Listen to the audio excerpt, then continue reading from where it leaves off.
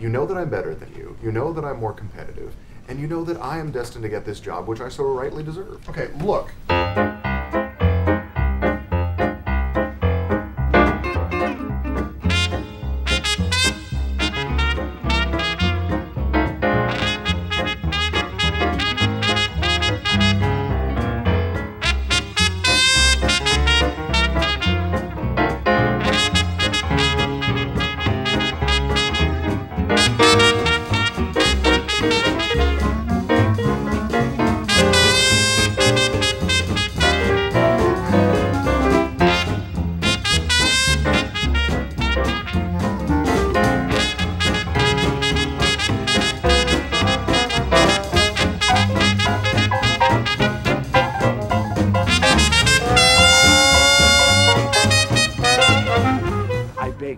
Toys and plants and my best friend's kid sister.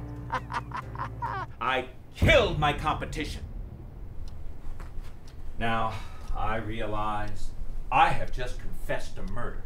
I don't want to be like Earl. Earl's dead, Norm. Yo, he's. I'm not dead.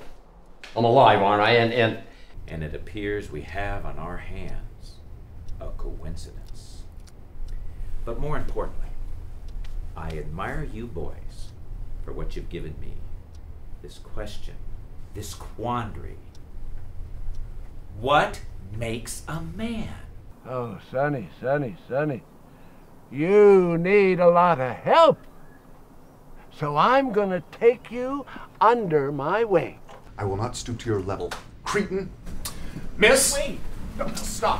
This gentleman who's applying for the job is a poor not. character and is 120% completely not ill-suited to the position Never you're crossed my offering. mind. I, shut up! John! Let your intellect deal with that! I never said that I was above physical conflict.